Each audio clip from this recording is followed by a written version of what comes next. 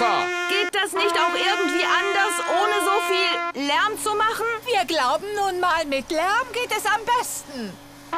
Als George ein Baby war, haben wir ihn in seinem Kinderwagen rund ums Haus geschoben. Und dabei ist er immer eingeschlafen. Wie seltsam. Ohne laute Geräusche? Ja, wirklich. Wie oft ums Haus war das nochmal, Mama Wutz? Dreimal? 50 Mal. Papa Wutz schiebt Baby Alexander im Kinderwagen rund ums Haus. 50 Mal. Gut. Baby Alexander schläft wieder. Lasst ihr mich wieder rein? Ich schalte nur die Alarmanlage aus. Und jetzt den Alarm wieder an. Pepper, was machst du denn hier? Ich kann nicht schlafen, Papa. Das ist so eine lärmige Nacht. Okay, Pepper. Ich bring dich wieder ins Bett. Also, wo war noch mal euer Zimmer? Stopp, Papa. Das ist das Zimmer von Baby Alexander. Baby Alexander ist von dem Licht aufgewacht. Kein Problem. Hier kommt schon der Staubsauger. Und hier die Trompete. Stopp! Stopp! Ich weiß noch was anderes, was George früher zum Schlafen gebracht hat. Oh ja, wir haben ihn im Auto rumgefahren. Ich mach den Wagenstart klar. Denk an die Alarmanlage. Papa Wutz hat die laute Alarmanlage ausgelöst. Und jetzt hat die Alarmanlage auch alle anderen aufgeweckt. Da kommt Frau Mümmel mit dem Rettungshubschrauber. Ist alles in Ordnung bei euch da unten? Es gab einen Alarm. Ja, alles gut. Okay, gute Nacht.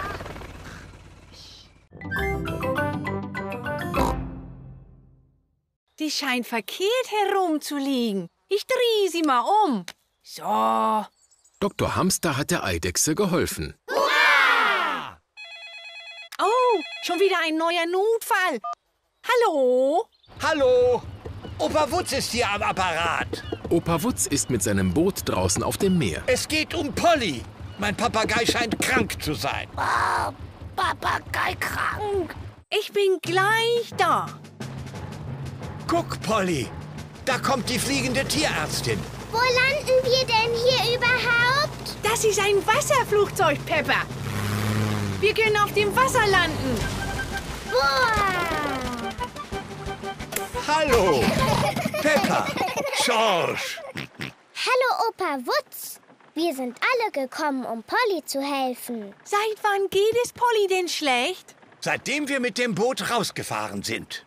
Aha. Ich glaube, ich weiß, was Polly fehlt. Sie ist seekrank. Oh. Bringt sie wieder ans trockene Ufer. Je eher, desto besser. Da ist eine Insel. Da sind wir schon. Besser, Polly. Ah, Besser, Polly. Hurra! Polly fühlt sich putzmunter. Oh, doch nicht schon wieder Notfall. Hallo? Hallo, hier spricht Papa Wutz. Papa Wutz ist in seinem Büro. Auf unserem Dach sitzen ein paar Entenküken. Ich bin schon unterwegs.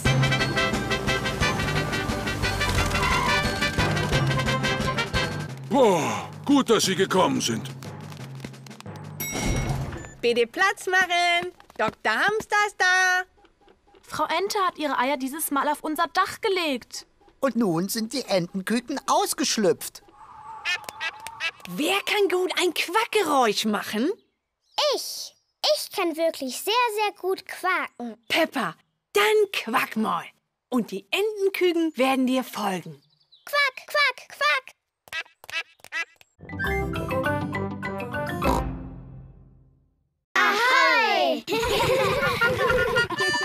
Das Postauto. Es ist Herr Zebra, der Postbote. Guten Tag, Frau Kleff. Ich habe eine Postkarte für Sie. Dankeschön, Herr Zebra. Tschüss dann. Von wem ist die Postkarte denn, Mami? Sie ist von Captain Cliff.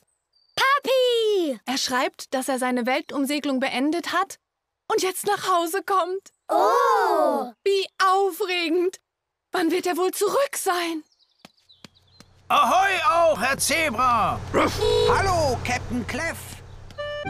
Hallo? Papi! Klausi! Papi! Klausi! Papi! Captain Clef ist wieder an Land. Mein Captain Clef! Mama Clef, mein Herzensschatz. Für wie lange bleibst du jetzt hier, Papa? Für immer. Ich habe beschlossen, das Reisen sein zu lassen. Ich habe die Welt gesehen und ich habe mein Glück gemacht. Oh! Und wieder verloren. Oh! Und wiedergefunden. Hurra! Ah, Ich liebe das Reisen. Aber es gibt etwas, das ich wirklich vermisse, wenn ich fort bin. Was denn, Papa? Natürlich meine Lieblinge. Darum hänge ich meine Kapitänsmütze mal an den Nagel. Ich erzähle euch nun alles über meine vielen Reisen. Ich war wieder einmal eine Ewigkeit unterwegs, segelte rund um die Welt. Einmal ganz rum? Jo, Was passierte, als du ganz unten warst? Bist du runtergefallen? nein, ich fuhr hart am Wind. Boah, was für ein Abenteuer. Das war es. Und ich habe euch allen Geschenke mitgebracht. Oh! Ihr bringt eure Haustiere mit und das beste Tier bekommt einen Preis. Ich bringe mein Haustier Goldfisch mit. Ich bringe meine Stabschrecke mit. Ich komme mit meinem Gecko. Ich bringe Äffchen mit. Das ist kein Haustier, das ist ein Stofftier. Das ist kein Stofftier. Das ist Äffchen. Er mag Hunde, Klausi. Bring Äffchen ruhig mit, wenn du willst, Zoe. Und jetzt ab nach Hause. Und vergesst morgen nicht die Haustiere für den Wettbewerb. Es ist der Abend vor dem Haustierwettbewerb. Peppa und Luzi kümmern sich um Goldi. Ist nur Goldi. Du hast einen großen Tag vor dir. Ich poliere noch mal dein Glas. Wunderbar. Pedro spricht mit seiner Stabschrecke. Eine Stabschrecke ist ein Insekt, das aussieht wie ein Stock. Morgen früh kommst du mit mir in den Kindergarten. Das beste Haustier wird einen Preis bekommen. Das bist bestimmt du. Edmund Elefant spricht mit seinem Gecko. Guck mal, hier. Und jetzt bist du dran. Zoe Zebra spricht mit Äffchen. Bist du schon aufgeregt vor dem Wettbewerb, Äffchen? Du musst morgen also ganz brav sein. Sei bloß kein Frechdachs, Äffchen. Heute ist der Haustierwettbewerb. Madame Gazelle, wer entscheidet denn, welches Haustier das Beste ist? Dr. Amster. Hallo zusammen. Hallo. Oh, was habt ihr da für niedliche Haustiere? Was für ein glücklicher kleiner Fisch. Wie heißt er denn? Das ist Goldi. Die kennen Sie schon. Und sie hat ein sehr glänzendes Glas. Was macht Goldi denn den ganzen Tag? Sie schwimmt gerne herum. Und dabei macht sie immer.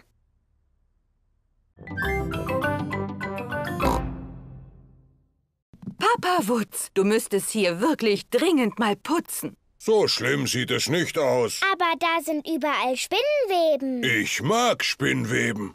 Sie geben dem Raum Charakter. Wo Spinnweben sind, sind auch Spinnen. Ich kann Spinnen überhaupt nicht leiden. Ich schon, denn Spinnen fangen Fliegen. Und ich finde Fliegen grässlich. Gut, aber nur solange mir keine Spinne unter die Augen kommt. Eine Spinne. Schönen guten Tag, Herr Spaghettibein. oh, wo bist du denn hin? Findet ihn.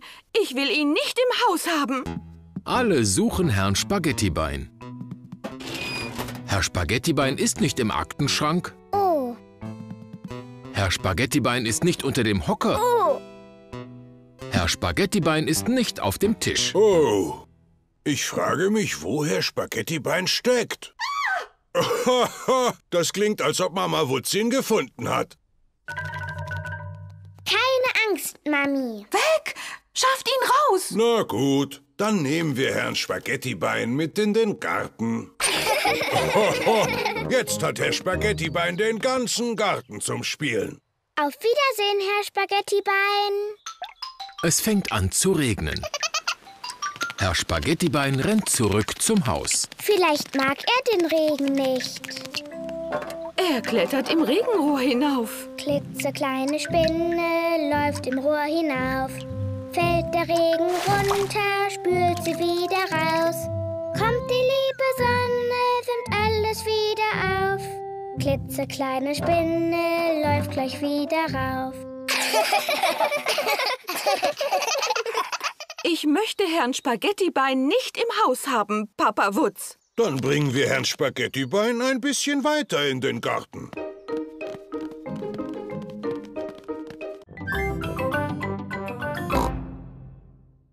Und Peppa, Schorsch und Luisa Löffel spielen Schweinchen in der Mitte. Fang, Peppa. Fang, Luisa. Schorsch ist das Schweinchen in der Mitte. Oh, Schorsch versucht den Schatten des Balls zu fangen. Dummer Schorsch, das ist doch nicht der Ball. Das ist bloß sein Schatten. Guck. Wenn sich der Ball bewegt, bewegt sich auch sein Schatten. Du hast auch einen Schatten. Guck, Schorsch. Schorsch versucht seinem Schatten davonzulaufen. Du kannst deinem Schatten nicht davonlaufen. Du musst rennen, um ihm loszuwerden. Peppa versucht, ihrem Schatten wegzurennen. Oh, er ist ja noch da.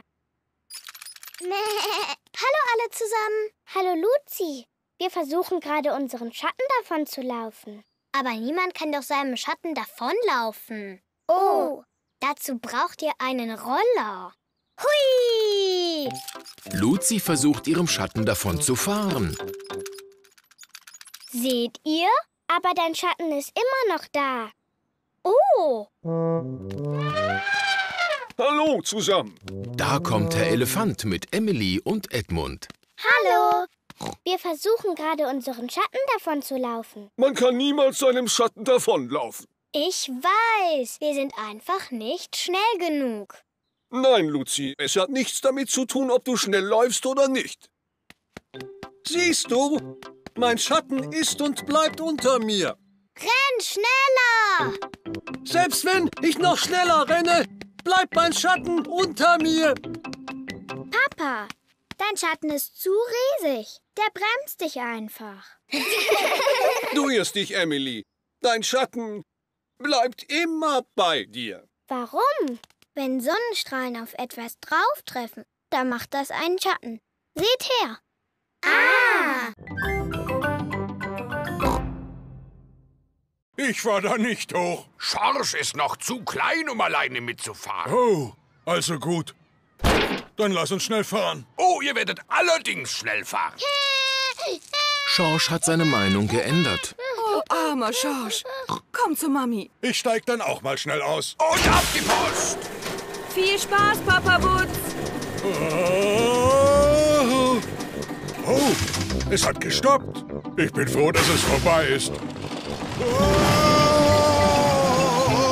Das ist himmlisch! Hui! Bitte aussteigen! Das war ein Spaß. Findest du nicht auch, Papa? Äh, ja, ein toller Spaß. Mama, was ist das? Geh drum herum und steck deinen Kopf durch das Loch. Und was passiert dann? Luzi, jetzt bist du eine Tomate. Guckt, ich bin eine Möhre. Oh ja. Und ich bin ein Kürbis. Willkommen im Dinosauriergarten. Oh. Begrüßt mit mir meine Dinosaurierfreunde. Ihr braucht keine Angst zu haben, sie sind ja nicht echt. Aber sie haben ganz haargenau so ausgesehen, als sie zusammen die Erde bewohnt haben. Das stimmt nicht. Was? Der Triceratops lebte doch in der Kreidezeit, der Stegosaurus dagegen im Jura. Sie haben nicht zusammen die Erde bewohnt. Woher weißt du das? Ich bin eben ein Schlauberger. Nun denn, wer von euch möchte gerne reiten? Ich, ich. Warum gibt es überhaupt Dinosaurier in der Kartoffeltraumstadt? Ähm, Kartoffeln waren die Lieblingsspeise von Dinosauriern. Nein. Wie auch immer, Kinder lieben Dinosaurier. Sausia. Sausia.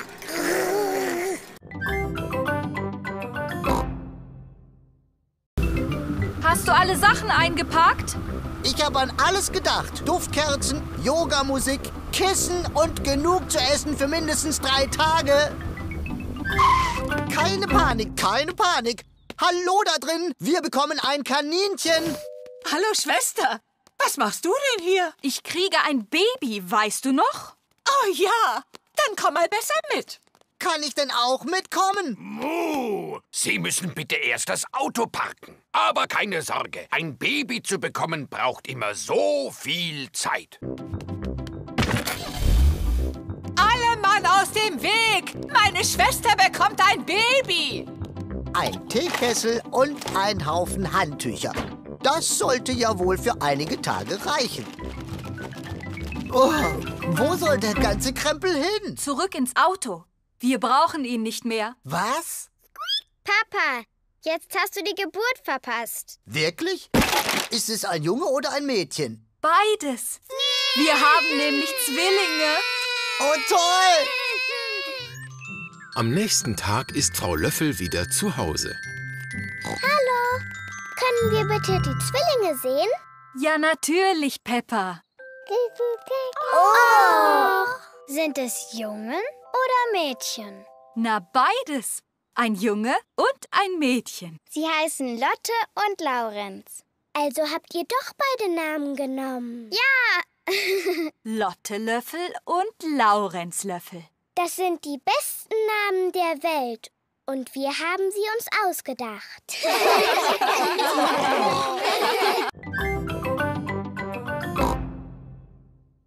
Hallo, Pedro! Hallo, everybody! Willkommen in meinem Cowboy Camp.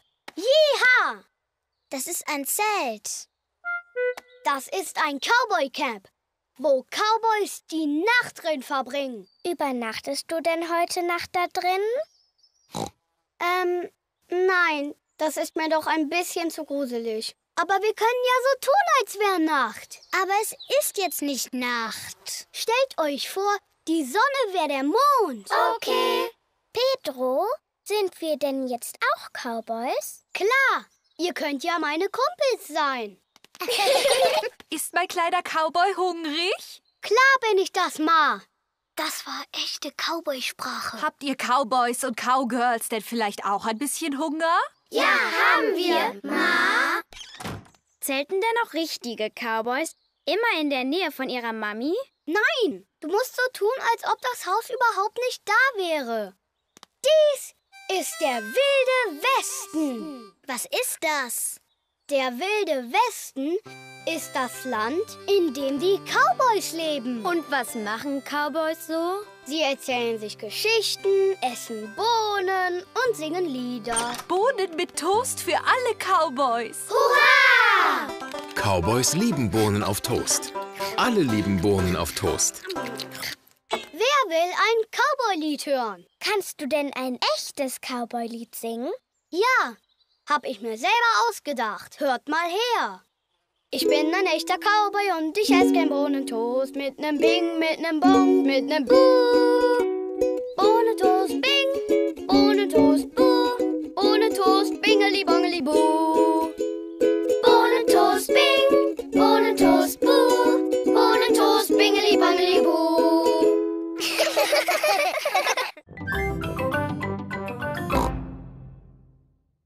Echte Dinosaurier sind vor 65 Millionen Jahren ausgestorben. Edmund Elefant kennt sich mit Dinosauriern aus. Er ist ein Schlauberger. Wir haben etwas Besseres als echte Dinosaurier. Wir haben singende Dinosaurier. Wir sind Dinosaurier, Saurier, Saurier.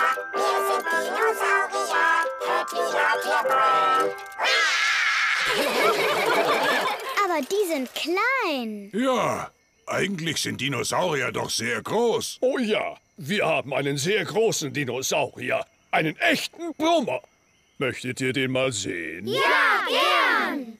Das hier sind seine Fußspuren. Wir müssen ihnen nur folgen. Oh. Diese Fußspuren sehen sehr echt aus. Bist du sicher, dass hier keine richtigen Dinosaurier leben, Opi Mümmel? Ziemlich sicher, Papa Wutz. Über die Felsen, alle Mann! Über die Brücke! Durch die Höhle!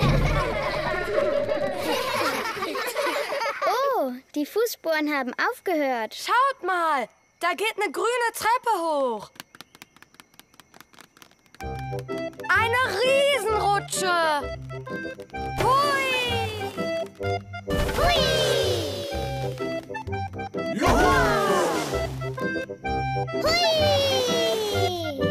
Boah, das ist ein Dinosaurier. Ja, das ist meine monstergroße, riesigartige Saurierrutsche!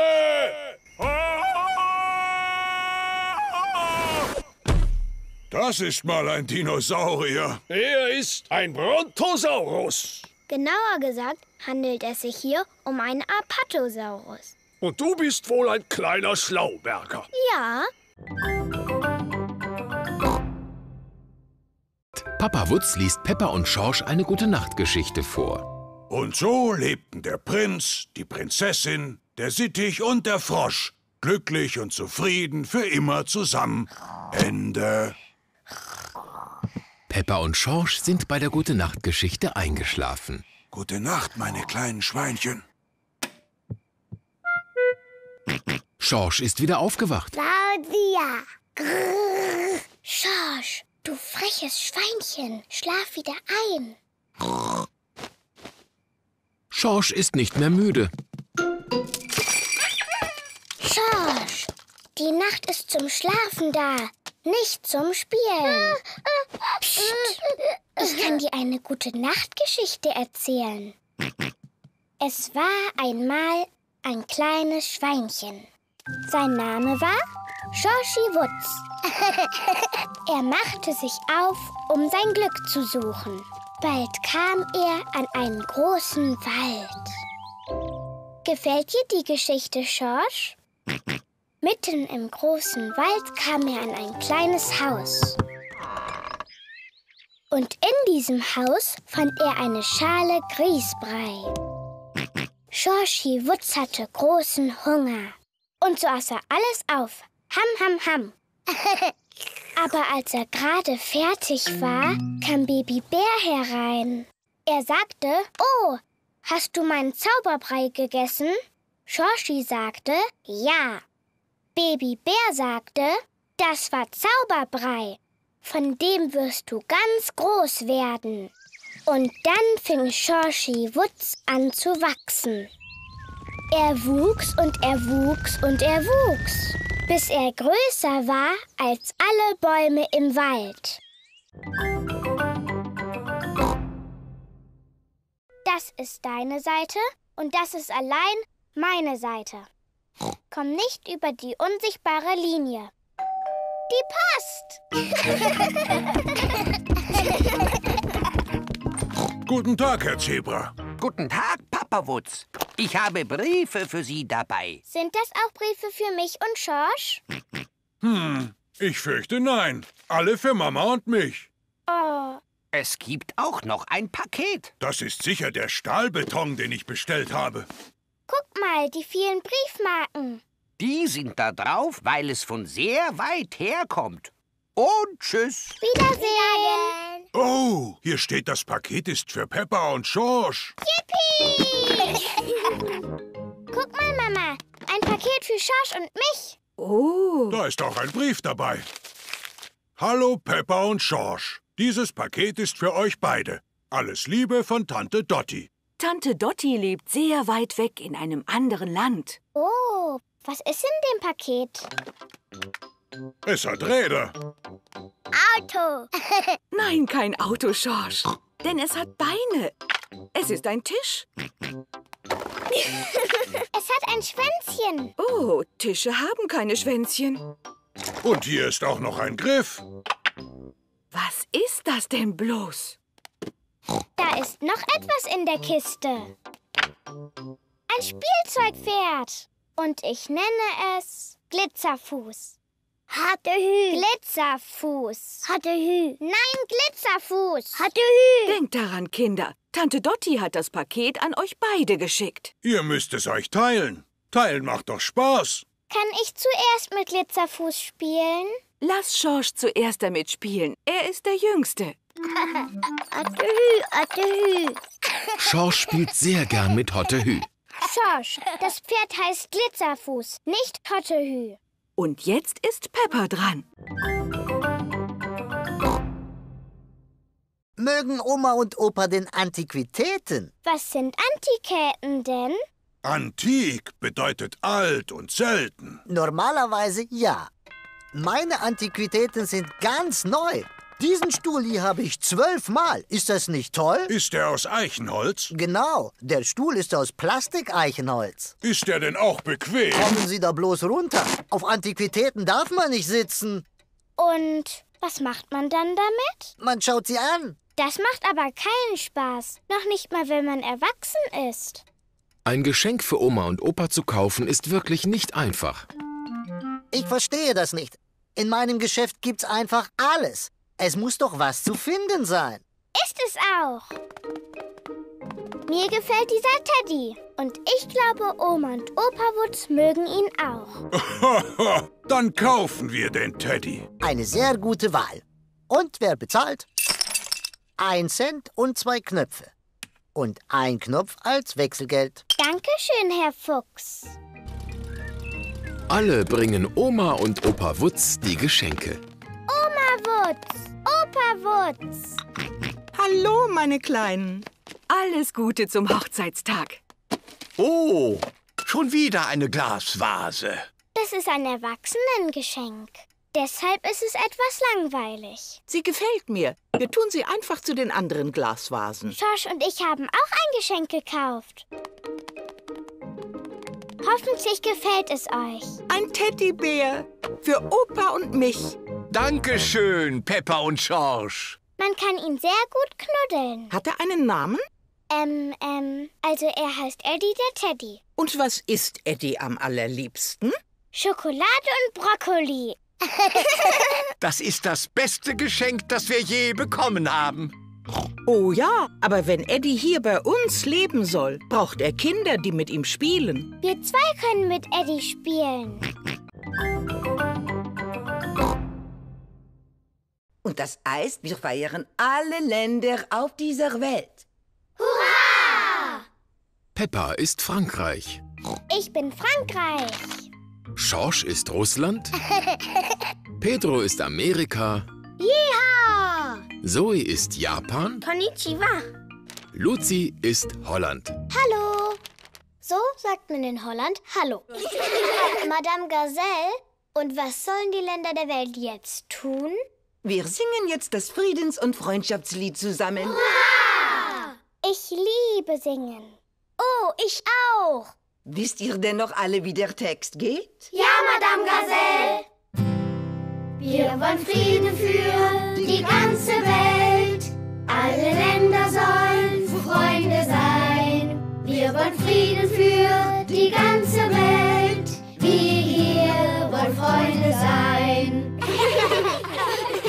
Wunderschön.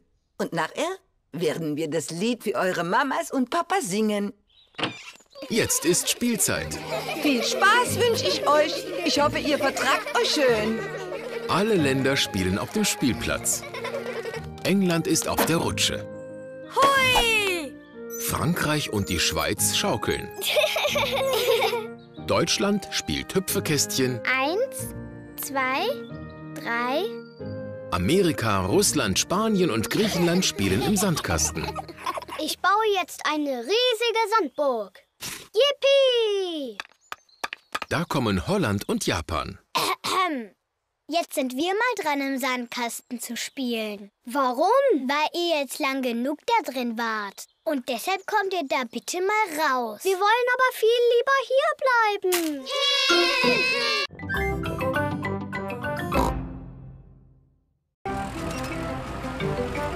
Bagger, Bagger.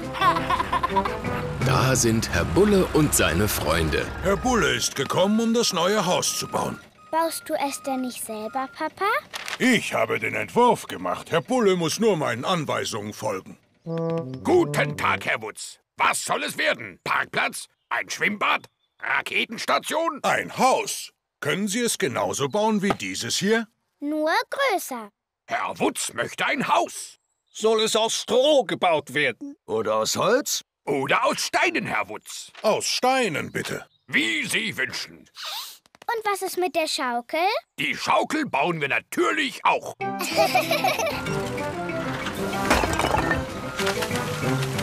Kann ich helfen?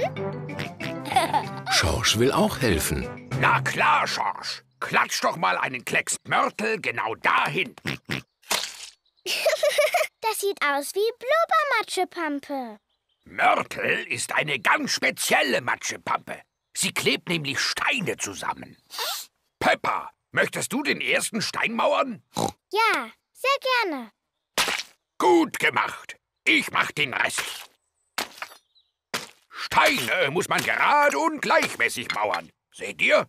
Reihe für Reihe. Das dauert aber ewig. Genau. Und wirst du heute damit fertig?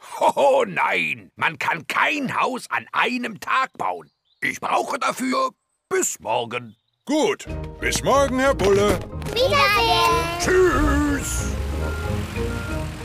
Schorsch hat den Klebematsch hingeklatscht. Und ich habe den Stein drauf gemauert. Das klingt alles sehr aufregend.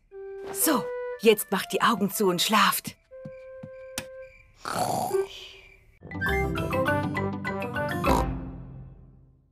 Heute haben wir einen besonderen Gast und er spielt mit euch Basketball. Oh! Hallo. Papa, es ist noch nicht Abholzeit. Zu uns kommt heute erst noch ein Basketballlehrer. Das bin ich. Ich bin euer Coach. Einen Basketballlehrer nennt man Coach. Oh! Gut gemacht, Papa. Peppa, nenn mich Coach. Okay, Papa Coach. Kann denn einer von euch schon Basketball spielen? Nö. Es macht Spaß. Ihr müsst rennen, den Ball titschen und in den Korb werfen. Baby-Eier leicht. Oh. Es ist nicht so einfach, wie es aussieht. Um gut in Basketball zu sein, muss man hart trainieren und sich fit halten. Sind Sie denn fit, Papa Coach? Ja, ich bin super fit. Aber Papa Coach, du hast ein dickes Bäuchlein. Dieses Bäuchlein sind pure Muskeln. Zuerst spielen wir mal den Ball von hier nach hier. Das krieg ich wohin. Nein, Klausi, doch nicht mit deinen Füßen. Das ist Fußball. Klausi Kleff mag Fußball. Beim Basketball titscht man den Ball mit seinen Händen. Seht mal her. Wer möchte es mal probieren? Ich, ich, ich. Luzi Locke titscht den Ball sehr vorsichtig. Gut gemacht, Luzi. Jetzt probiert es alle aus. Alle üben, den Ball titschen zu lassen. Und jetzt zeige ich euch angreifen. Was ist angreifen? Angreifen heißt, einem anderen Spieler den Ball abzunehmen. Schaut her. Versuch ihn mir abzunehmen, Schorsch. Schorsch ist sehr gut im Angreifen. Peppa und ihre Familie haben einen herrlichen Ausflug in die Berge gemacht. Zeit für die Heimfahrt. Abmarsch ins Auto. Ich hoffe, dass Sie die wunderschöne Aussicht hier genießen konnten. Danke für den Besuch. Schüssel, Schüssel. Nein, Schorsch. Mit dem Autoschlüssel kannst du nicht spielen, sonst verlierst du ihn. Du spielst aber mit dem Autoschlüssel, Papa. Aber ich bin erwachsen und deshalb verliere ich ihn nicht. Oje, Papa Wutz hat den Autoschlüssel in den Gully fallen lassen. Oh, fertig. Und ab nach Hause. Ähm, das könnte vielleicht schwierig werden. Weshalb? Papa hat den Autoschlüssel in den Gully da fallen lassen. Oh, Papa Wutz. Nicht aufregen. Ich hole den Autoschlüssel wieder heraus mit diesem Stock. Hurra! Hm, der Gully ist wohl tiefer, als ich gedacht habe. Der Stock ist zu kurz, um an den Schlüssel zu kommen. Was wir jetzt brauchen, ist eine Angelrute. Mit dem Haken können wir den Schlüssel rausfischen. Vielleicht verkauft Frau Mümmel ja Angeln. Äh, verkaufen Sie Angeln? Das tue ich allerdings. Ich weiß nicht warum. Hier in den Bergen können Sie eigentlich nicht fischen. Wir fischen auch keine Fische. Wir fischen nach Schlüsseln. Mein Papa hat den Autoschlüssel da in den Gully reinfallen lassen. Oh, den kriegt ihr da nie wieder raus. Der Gully ist wirklich tief. Wozu braucht man Gullis? Durch die Gullis fließt das Regenwasser ab und dann zum Meer. Die Angelleine ist nicht lang genug, um den Schlüssel zu erreichen. Oh je, Mine. Wie tief ist dieser Gully denn? Probieren wir mal aus, wie tief er ist. Mit diesem Stein. Gute Idee, Frau Mümmel. Wir können zählen, wie lange der Stein braucht, bis er ganz unten ist. Eins, zwei, drei, vier, fünf, sechs.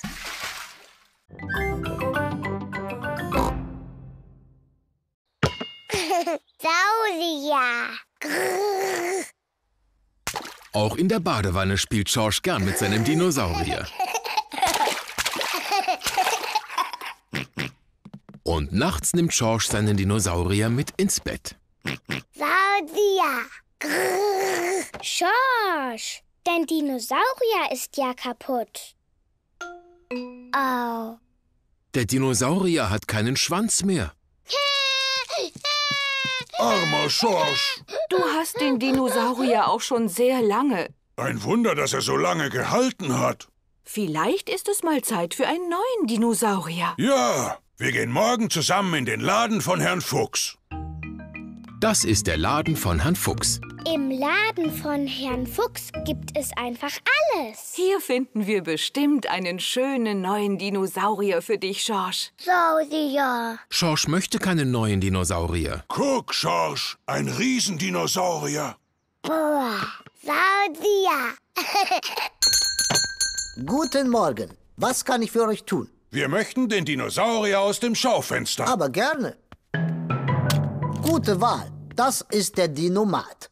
Er brüllt, er läuft. Außerdem kann er ein Dinosaurierlied singen. Dinomat, Dinomat, hör mal wie der Dino macht. Boah. Sausimat. Wir nehmen ihn. Schorsch spielt im Garten mit dem Dinomat. Spiel nicht so wild mit dem Dinomat, Schorsch. Er hat bewegliche Teile, die können kaputt gehen. Schorsch kann mit dem Dinomat nicht im Garten spielen. Schorsch möchte mit dem Dinomat in der Badewanne spielen. Schorsch, wenn der Dinomat nass wird, funktioniert er nicht mehr. Schorsch kann mit dem Dinomat nicht in der Badewanne spielen. Knirpsi, die Schildkröte, sitzt auf einem Baum. Schildkröte auf Baum? Schon wieder? Bin schon unterwegs. Hm. Wie bekommt man denn eine Schildkröte vom Baum runter? Fällen Sie einfach den Baum. Ja, wir fällen einfach den Baum. Nein! Na gut, dann kletter ich eben mal rauf. Hurra! Ja, ja. Oh, mir scheint, ich steck fest. Hunde können auch nicht sehr gut auf Bäume klettern. Können wir jetzt endlich den Baum fällen? Nein, wir rufen jetzt den höchsten Rettungsservice im ganzen Land. Okay, ich bin schon unterwegs. Das ist Frau Mümmel mit ihrem Rettungshubschrauber. Hallo alle zusammen. Retten wir mal wieder unseren Knirpsi. Ähm, wer fliegt jetzt eigentlich den Hubschrauber? Ups, ich Dummerchen. Ich stell mal schnell den Autopiloten an. Autopilot angeschaltet. Einen schönen Tag noch. Mit einem Autopilot fliegt der Hubschrauber von alleine. Hab ich dich, du kleiner Schlingel.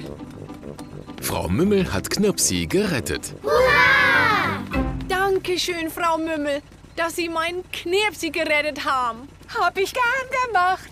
Dankeschön auch für unsere Rettung. Ich mache nur meine Arbeit. Wiedersehen. Äh, haben Sie nicht etwas vergessen? Was? Oh ja, meinen Hubschrauber. Auf Wiedersehen alle zusammen. Auf Wiedersehen. Du bist wirklich eine freche Schildkröte. Oh gut, du bist jetzt müde. Ab in deine Kiste. Schlaf schön, Knirpsi. Knirpsi hält jetzt Winterschlaf. Im Frühling wird er wieder aufwachen.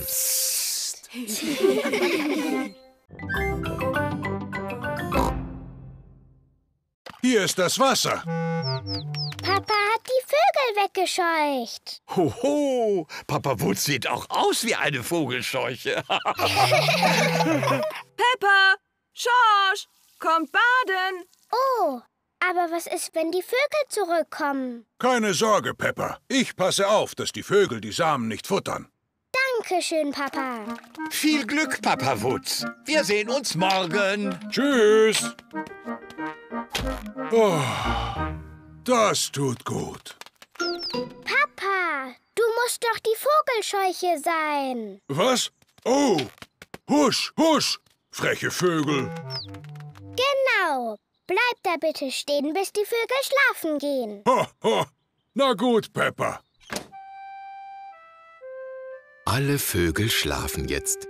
Papa Wutz kann ins Haus gehen. Es ist morgen. Schorsch, komm, wir schauen nach unserem Blumengarten. oh, Babypflanzen. Morgen. Ah, wie ich sehe, wachsen eure Pflänzchen schon. Bald werden sie große Blumen sein. Eine kleine Schnecke kommt angekrochen. Oh je, Schnecken fressen sehr gerne Pflanzen. Opa Wutz, kannst du Barbara mit in deinen Garten nehmen? Ähm, na gut, dann kümmere ich mich um Barbara. Es ist eine Woche später. Pepper, Schorsch, kommt schnell her. Da sind ja meine Blumen. Die sind so wunderschön. Und jetzt seht mal Schorschs Blume. Das ist die Ranke einer Bohne. Und wenn man daran raufklettert, erreicht man das Schloss eines Riesen. Nein, Pepper.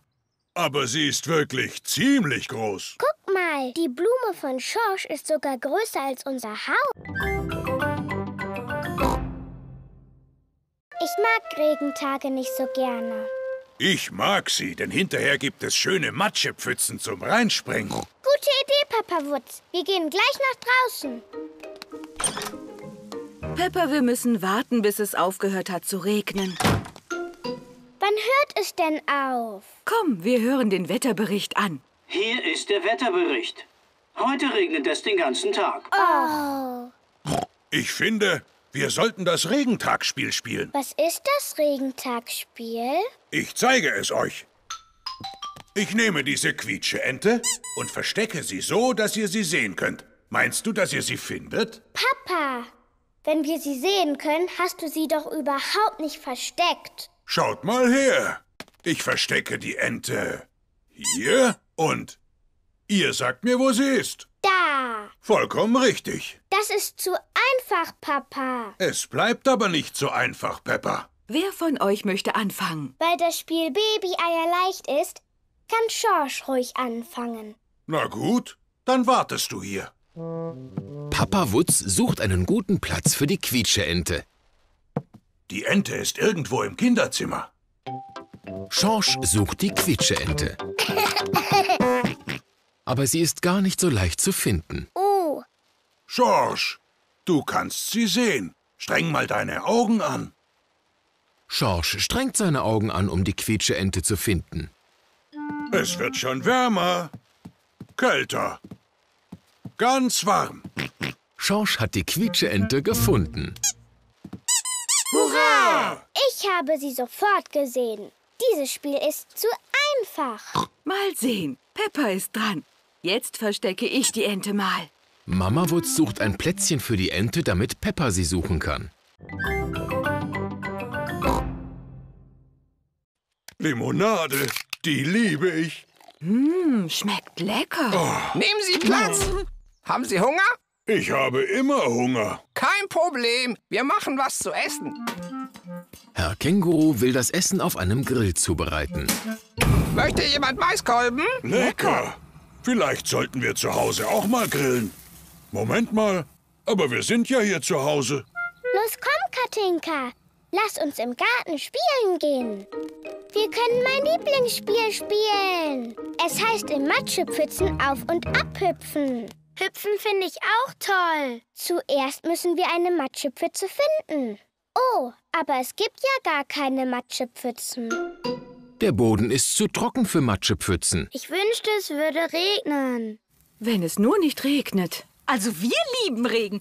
Bei uns regnet es fast nie. Also wenn Sie sich hier in unserem Land Regen wünschen, müssen Sie nur grillen. Wir können aber trotzdem ein bisschen hüpfen. Schosch ist wirklich ziemlich gut im Hüpfen, aber ich kann es noch besser. Schau mir mal zu. Genau so musst du es machen. Und jetzt bist du dran, Katinka. Ja gut. Kängurus können wirklich sehr hoch springen. Boah. Da kommt Luisa Löffel. Hallo, Luisa. Das ist meine Freundin Katinka.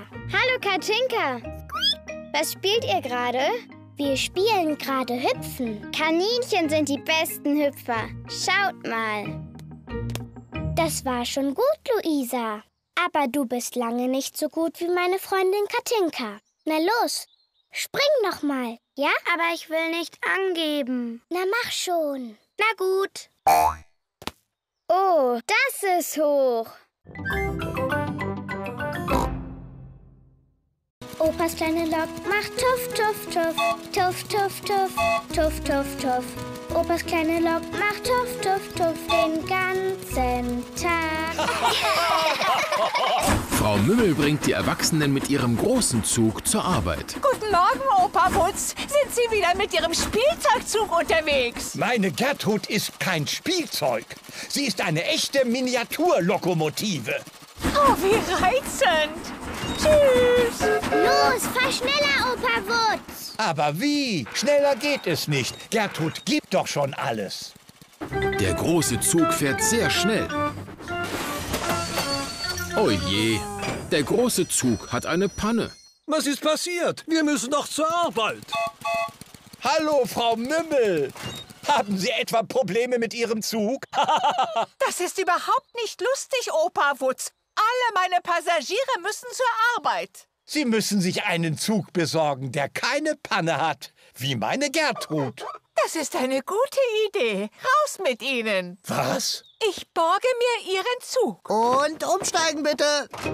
Und was wird jetzt bitte aus mir? Sie könnten doch so lange den großen Zug reparieren. In Ordnung. Ich liebe es, Dinge zu reparieren.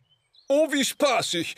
Ich fahr im Spielzeugzug. Gertrud ist kein Spielzeug. Sie ist eine echte Miniaturlokomotive.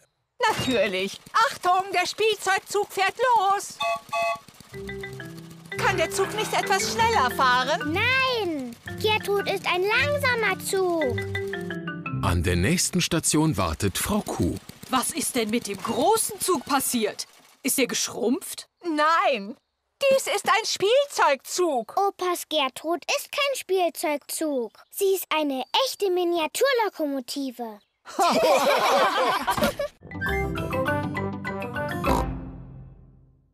Hallo Kinder, ich bin Mr. Kartoffel. Das ist Miss Möhre. Hier kommt Biene Blaubeer. Und jetzt alle bitte einen dicken Applaus für unseren jüngsten Spross. Kleines Kraut. Wo ist kleines Kraut denn hin? Kleines Kraut, wo steckst du? Er ist weg. Oh. Könnt ihr uns helfen, ihn zu finden, Kinder? Ja! Wenn ihr ihn seht, Kinder, ruft laut. Da ist kleines Kraut. Da ist kleines Kraut. Genauso. Wenn ihr ihn seht, ruft genauso. Da ist er ja. Er ist hinter euch. Wo? Da! Hinter euch! Ich sehe ihn nicht. Die haben ja wohl Tomaten auf den Augen, oder?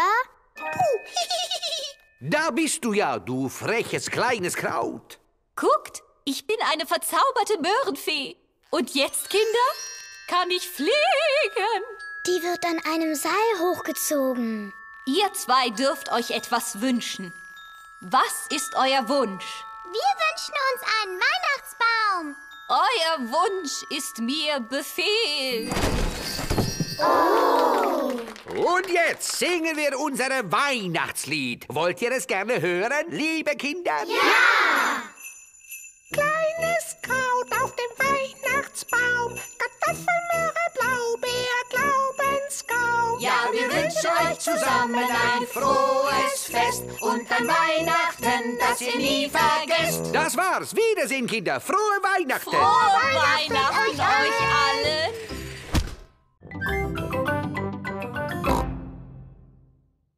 Hoffentlich haben wir auch alle eingeladen. Was ist zum Beispiel mit Ihren alten Freunden? War sie nicht mal in einer Popgruppe? Ja, das stimmt. Sie hat Gitarre gespielt. Bei den Groovy Gazelles. Hallo? Groovy Gazelles? Hallo, Madame Gazelle hört im Kindergarten auf. Gigi hört auf? Wie traurig. Wir machen eine Party. Eine Party? Wie schön. Dann kommen wir auch. Gut, alle haben zugesagt. Dann bereiten wir jetzt die Partyhäppchen zu. Das ist die Kindergartenküche. Alle helfen beim Essen zubereiten. Emily Elefant und Wendy Wolf verzieren Törtchen. Ich mach den Zuckerguss.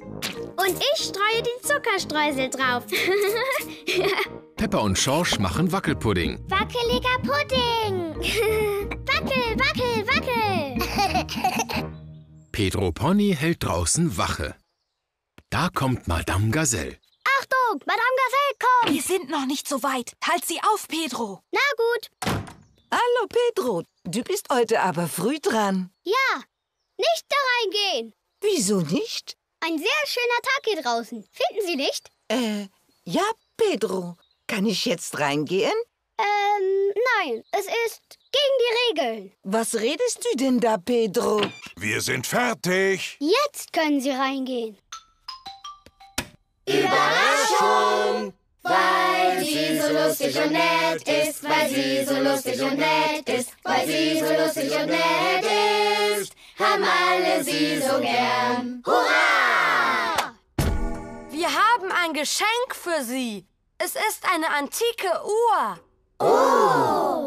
Sie ist aus stabilem Plastik. Dankeschön. Aber warum gibt es eine Party für mich? Alle hier wollten Ihnen heute danken, weil Sie die beste Lehrerin auf der ganzen Welt sind.